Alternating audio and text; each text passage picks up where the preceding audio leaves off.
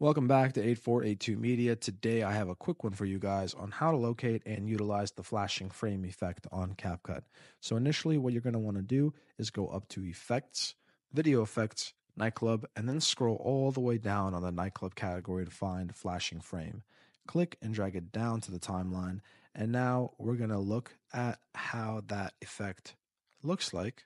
And then we're going to elongate it to fit the entirety of the clip.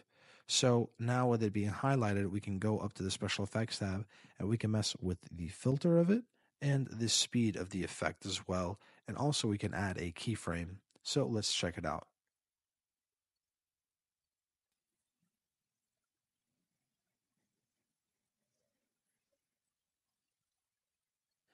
Thank you guys for watching. If this was helpful in any way, please leave a like down below. If you have any questions, comment down below. Again, thanks for watching and have a great day.